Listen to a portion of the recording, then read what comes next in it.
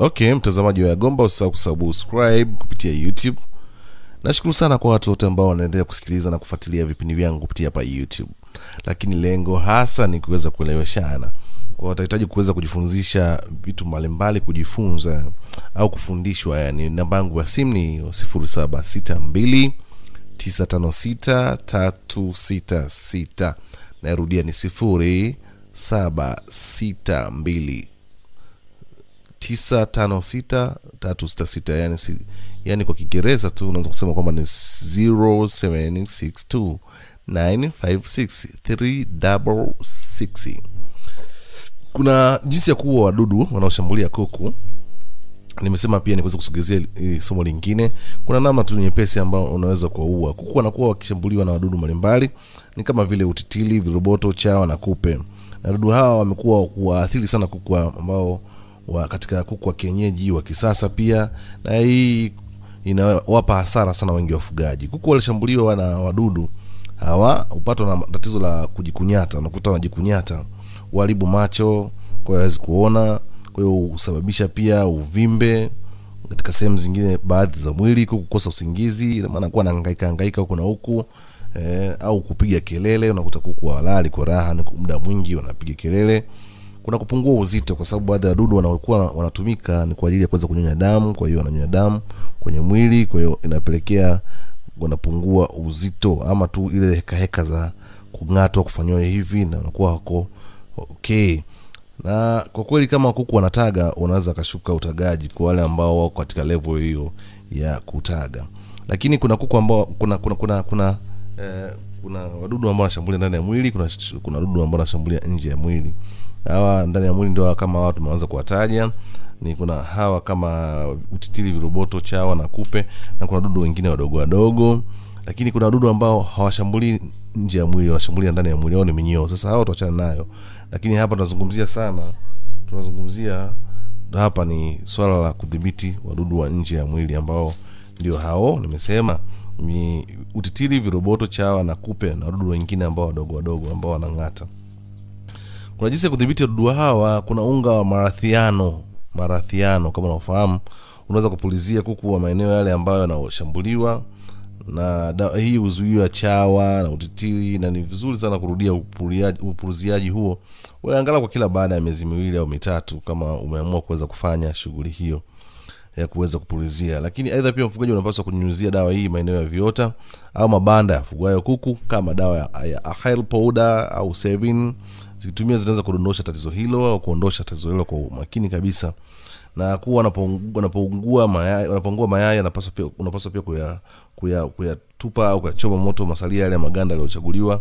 Waweza kuchimba shimo na kufia, kama kuyaweka maganda hayo ili siweze ku uh, kuleta shida zaidi. Lakini sio hivyo tu unaweza ukatumia njia nyingine ya kuweza kunani kuwafukuza wadudu ama kutowasababishia wasiingie katika banda lako. Kwa kutumia njia ya chokaa kama chokaa unaweza kwa kila baada ya kuweza kufanya usafi unanyunyuzia chokaa mle ndani ya banda lako. Kila unafanya usafi unanyunyuzia chokaa. Au kuna njia nyingine pia za kienyeji unaweza ukafanya ambazo hazihitaji gharama nyingi. Kwa hiyo hiyo njia nyingine ambayo loko ni, ni unaweza ukatumia hiyo chokaa. Lakini kuna njia nyingine kufukuza wadudu hao unaweza ukatumia sio lazima chokaa ni kueleze tu labda kwa umakini zaidi. Njia nyingine ni ile ya kutumia majivu.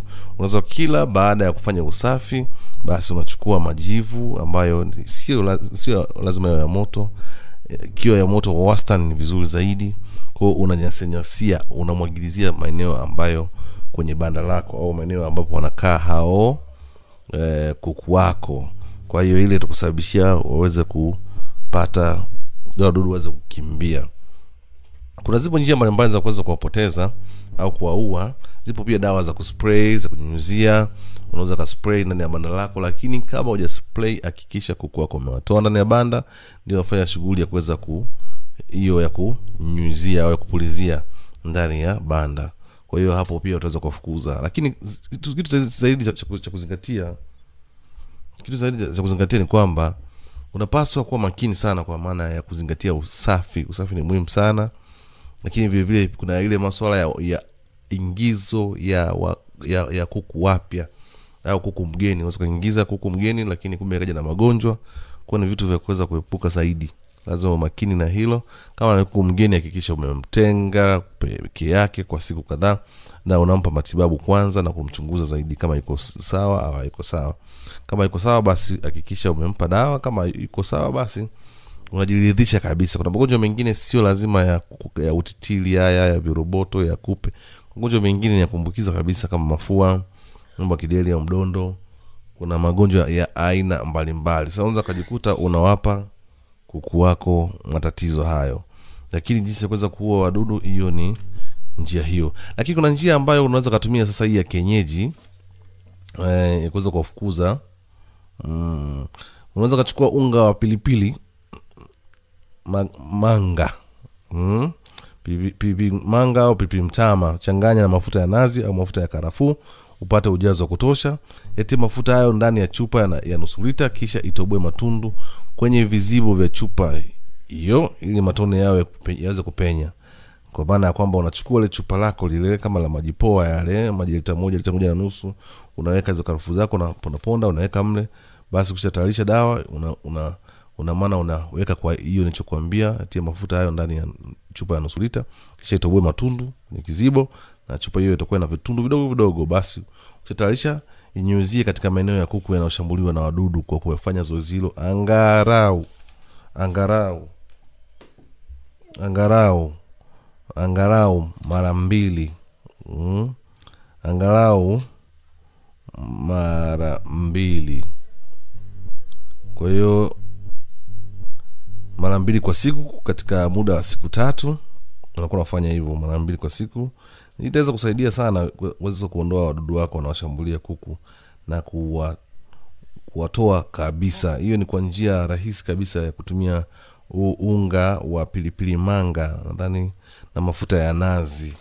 Njia rahisi kabisa hiyo ambao unaweza kutumia unga wa pilipili manga pamoja na na na